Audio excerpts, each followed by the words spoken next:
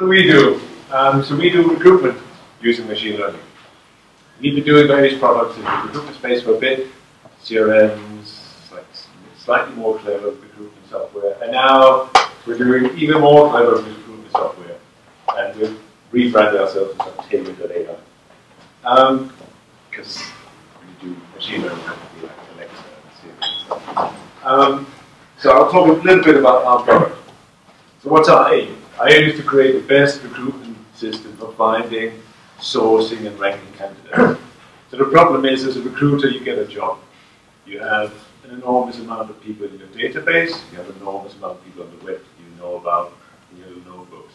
And you want to find the top 50, top 40 candidates to start focusing on in order to send out a top five perhaps to your client, to the company you might have 80, 90, 100, 200,000 CVs in the database. You type in Java developer, you get 20,000 back. It's a long search. You start doing another complicated Boolean search, but not if this keyword, but if this keyword, and you start stepping through. The idea is to take away that process. So instead of spending three hours searching your database, we will deliver you your top 50 shortlist in a few seconds. You just start stepping through them, calling the ones you want. Job done, shortlist. So you can focus on the candidate, the client, not the, uh, the Boolean searches. So, oh, this is from our pitch deck. It's a little vague. Um, so what's the idea? We have multiple data sources on the left. Uh, your CRM, where you have CVs, you have placement history. Your what we call research. This I'll come back to that. That's our research tool that lives within our browser. We do our CRM we also do a standalone product that you can put in your browser. And as you're searching the internet, you're building up a small CRM outside your normal CRM. So as you're searching through the internet here, we'll go out, we'll see, oh, you're looking at this LinkedIn client, uh, candidate, we'll go out and find the information on the web about his social profiles, etc. more information. All this information we feed into Octavia, our machine learning model that constantly trains, constantly learns from what's going on in your CRM the placements you're making, people getting rejected, and the information you're looking at on the internet.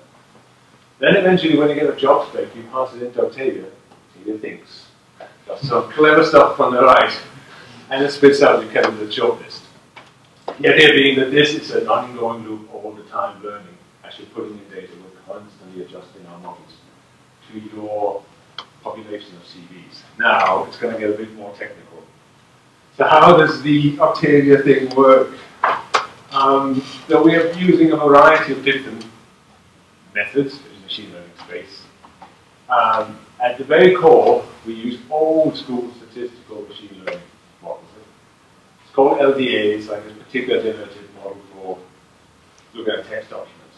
We, we use these at a very large scale on a CV, whole CV population, plus our own CV we build up a large model across many, many CVs. We're constantly training this model in a sort of reinforcement loop. So we're adjusting, constantly adjusting hyperparameters to the uh, placements you're making, how you're placing people. So we learn all the time from the people you, you're placing, the people you're getting rejected, the people you don't like. We do some uh, neural networks, some standard NLP stuff on each individual CV. So we'll figure out, looking at each candidate, we'll figure out how long you've you been in your current job, what's your typical patterns. This is all down to NLP techniques. We're using some neural nets to extract the features of a CV. Because you can come up with all these crazy regular expression rules, but they, we mix them up with some neural networks as well. Uh, extracting skills, like if you've been in a job less than six months, we'll downrate you. If you typically don't move jobs, we downrate you. You change jobs every 18 months, and you're about to come around to that cycle, we upgrade your rate. We look at your typical way you, the skills you're applying in your current job versus old jobs, etc. So this takes away standard keyword searching as well, makes it more weight. And then we do a little bit of neural on the entire CV population where we're extracting features which are not based on single words but on paragraphs and sentences. All of this feeds in to a little boosting that takes all of this, weights them a bit. These are several models, several inputs coming in here, and this is constantly learning as well. based on your label data, which is essentially your placements and placements we have in our database.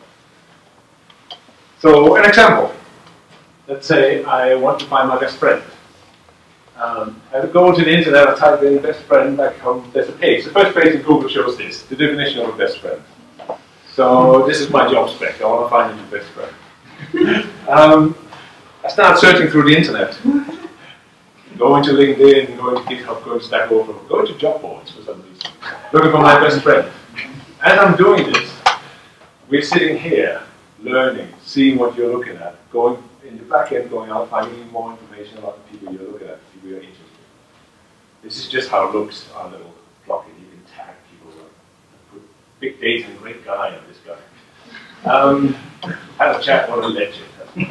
but um, so it keeps learning, building up our model in the back end.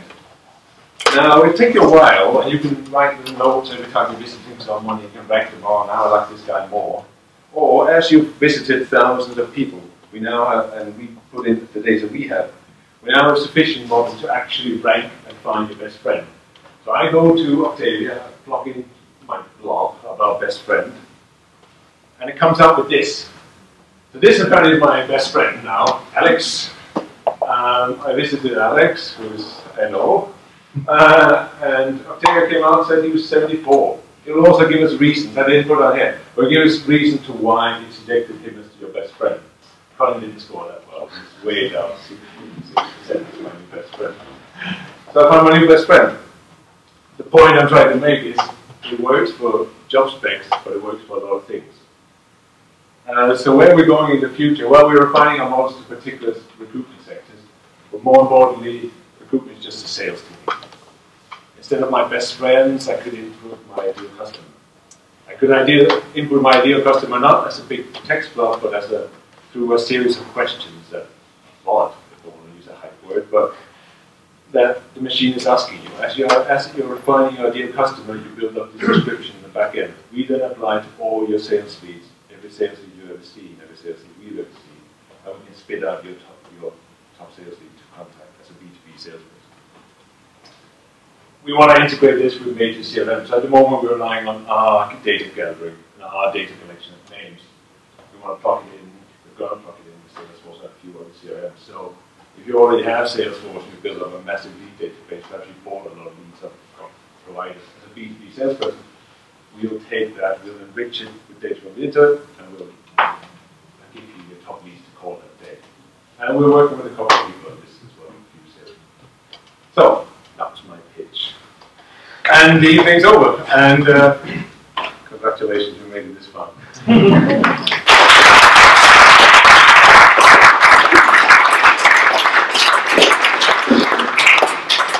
So if there's any questions, Octavia? Uh, Uh, yeah. Yeah. Um, so obviously you do B2B stuff. Have you considered um, connecting with the you know, public sector, so local government and the other, some of the other um, organisations that are responsible for driving growth and skills within areas who are desperate for information about where skills are and where jobs are so that they can do things like design transport networks and seed companies and organisations within specific areas to support the local population. uh, no. Um, I think that's more of a big data problem. So there are companies that do scrape job boards, uh, both for applicants but also for um, jobs that are coming online. You scrape company websites, and you can sell that data to government saying this area, this particular location happening in this particular in this sector. Um, but yeah, it's not. We don't. We do data gathering, but different in your as you're visiting things. We do data gathering, not that kind of advanced knowledge. Okay. It's a bit, bit a couple of people. The open notes section where you, a user could just input the notes, is that actually in live? And if so, like, how do you actually normalize that? Because obviously it's quite free reign and how does, how does the, the machine deal with kind of a free reign open text? Uh, in general, we deal with all of our stuff gets normalized or put together into a free range text before we even work on it. So we move all forward from anything and we just work on board. which we then transform a bit. So actually, as we visit different things, we just append it to a massive text block about each person, and we use that for our analysis. Do you think you'll move to just having like standardized kind of drop downs for like great guy or like nice fella or whatever you want to say about the guy rather than leaving it free form because Yeah. become too too open to Maybe if we're going to use those kind of tags more, too, we don't actually use them. It's just a way you maintaining a short list. So when you want to do your ranking, you can slice it down to the people you already said were very good. Instead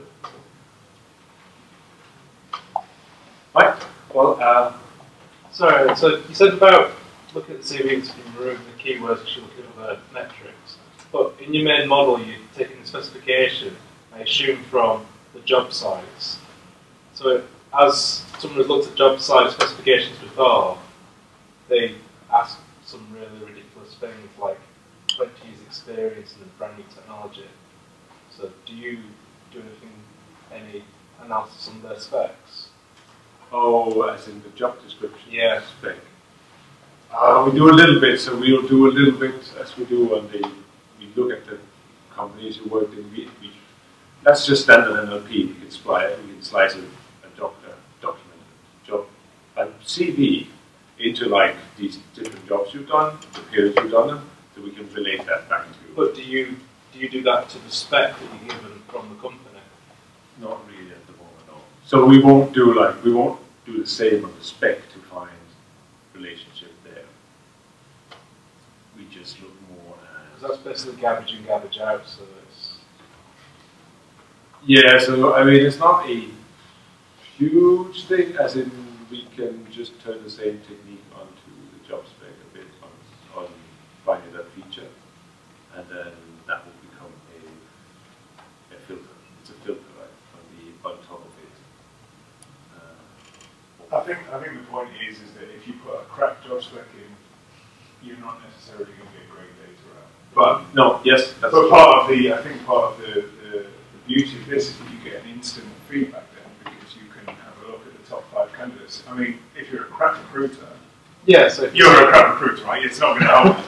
But if you're a decent recruiter or a good recruiter, it's going to make your life a huge amount easier because you're like, all right, this isn't the right information job spec because these aren't the right guys. It gives you like an instant feedback loop. Um, but yeah, we're not we're not here to provide awful recruiters with magic. it's a, it, we want to make recruitment better for everybody as well, as well as contributors. yeah. but yeah, Um, I think I'm curious to know, um, with like candidates who perhaps have a different um, format for like a CV, are there differences? So if sort of here you've got in the UK like a certain kind of standard to, to the CV or to presenting kind of your credentials, does it differ if you've got candidates that are essay or My CV's in MS Paint. Or maybe it's in, in Genius, right? well, there is a bit. I mean, some people do horrendous formatting, as in they'll put it in weird footers and headers. And, and like you get a PDF where it's just like weird. So when you just pass it to text, you have no idea. Like it just comes out. Uh, or yeah, they embed their name and their phone numbers and stuff in footers and headers of MS Word, whatever. So when you pass that to text, it just looks really weird. Um, we do have some of that where I think we almost say, but then they're just like, it's just a raw CV. Uh, it's their fault. we could do it better, that, but that's more like text parsing uh, issues where we just sort of, we be a bit nonchalant, maybe just like, It's not perfect solution for everything. It should solve 99% of the PDF does some really weird things with text fields. It really yeah, if you do like tables and stuff. Well, even simple stuff, it, it factorizes all the text and messes it. Oh. So yeah, there's a lot you can do there, make it nice. We're pretty good at getting text out of PDFs, but there's other limits. Right. Yeah. Someone told me that uh, a CV should only be one page, but I don't think that's true because if the AI is picking it out, surely the more words the better. CV, Oh yeah, I mean for us it doesn't matter how long it is. It's better. It's better to be longer actually. You get more context. Uh, we, get a better idea. Um, especially when I like apply for a job where it's not a skills-based job, but like a, it works best if it's a week. Let's say a week job. What I mean is a week in terms of skills. So it's hard to define job. So it's like a soft job. Skills jobs are much easier. You can actually do skill search. Like if you look for Java developer knows these technologies, you can just search for that database. But if you're looking for a HR officer or a salesperson with these these skills, it's much better to build a like topic model like we do, and then look at the topic modeling of the CV and get a much nicer. So I don't think you think that was the question. But um, yeah, okay. well, um, thank you very much, guys, for coming out tonight. I hope you enjoyed it. I enjoyed it very much. Hope you enjoyed the pizza. The sponsor provided. Um,